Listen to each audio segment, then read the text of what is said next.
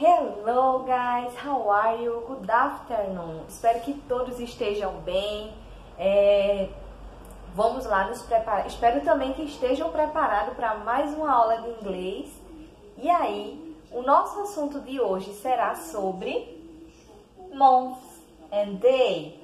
Lembram que a gente aprendeu na aula passada about months, sobre os meses do ano, months of years. Então, os meses do ano. Agora a gente vai aprender algumas uh, preposições que a gente utiliza quando a gente for falar sobre, uh, sobre os meses do ano, certo? Em alguma frase ou algo assim. A gente vai aprender uma diferençazinha sobre o uso do in e sobre o uso do on, ok? Então, é, a gente aqui tem essa frase, preste atenção nessa frase aqui, ó.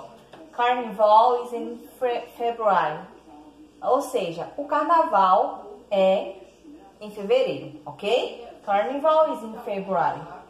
E agora, vamos ver essa frase aqui, ó. Christmas is on December 25. Ou seja, Natal é, em em, é no dia 25 de dezembro.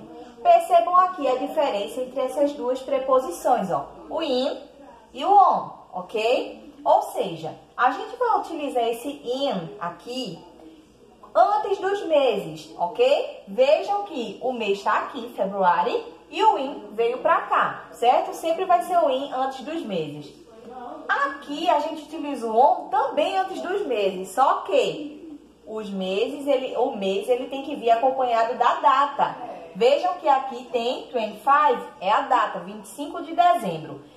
Ou seja, é aqui Christmas, ok? Christmas is on December 25. Então a gente vai utilizar o on porque é seguido de uma data, antes de mês acompanhado da data. O uso do on, ok? E agora o uso do in.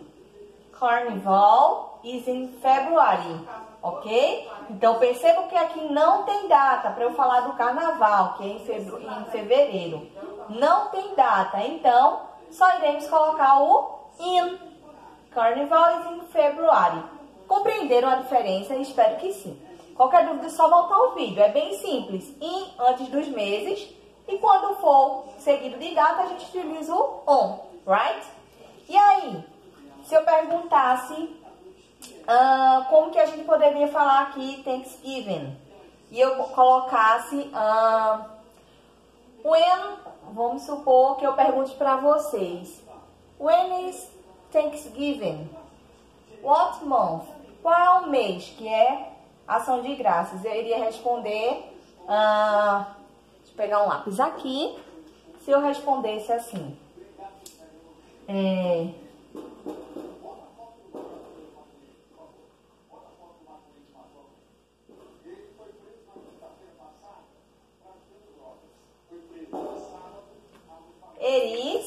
E aí eu uso o que aqui?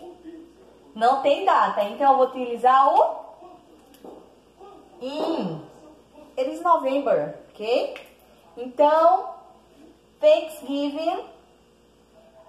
What about the celebration? What the celebration about? Do que se trata essa celebração?